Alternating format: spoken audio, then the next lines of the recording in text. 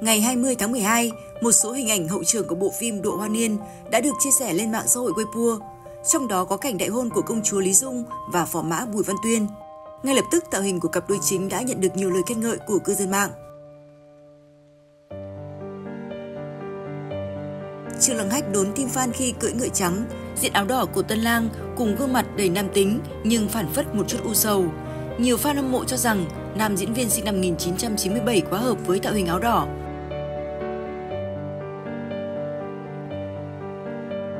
Trong khi đó, Triệu Kim Mạch cũng hóa thân thành nàng công chúa lạnh lùng, nhưng cũng vô cùng trẻ trung xinh đẹp khi ngồi kiệu hoa.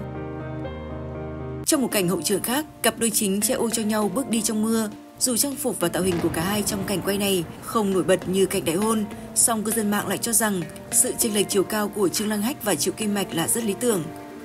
Được chuyển thể từ tiểu thuyết trường công chúa của tác giả Mạc Thư Bạch, Đỗ Hoa Niên xoay quanh chuyện tình của Bùi Văn Tuyên, một chàng trai hòa nhã hướng nội, và Lý Dung, nàng công chúa kiêu kỳ hống hách. Điều chớ trêu là Bùi Văn Tuyên vốn đã có người thương trong lòng từ trước đó và chưa bao giờ thấy yêu quý Lý Dung. Theo cốt truyện, hai người làm vợ chồng suốt 30 năm nhưng vẫn không nảy sinh tình cảm, chỉ đơn giản là cuộc hôn nhân cha mẹ đặt đâu con ngồi đấy. Cuối cùng, cặp đôi bị chia rẽ rồi chết đi trong tiếc hận. Tuy nhiên, sự kiện này lại đánh dấu một khởi đầu mới cho Bùi Văn Tuyên và Lý Dung khi mà họ có cơ hội quay trở về thời điểm 18 tuổi. Từ đây, câu chuyện của hai người rẽ sang một hướng hoàn toàn khác. Độ Hoa Niên đánh dấu màn hợp tác đầu tiên của Trương Lăng Hách và Triệu Kim Mạch. Màn hợp tác của cả hai rất được lòng cư dân mạng bởi ngoại hình, khí chất và chênh lệch chiều cao của hai diễn viên trẻ đều mang lại cảm giác xứng đôi, hứa hẹn phản ứng hóa học bùng nổ. Bạn có mong đợi độ hoa niên của Trương Lăng Hách và Triệu Kim Mạch không?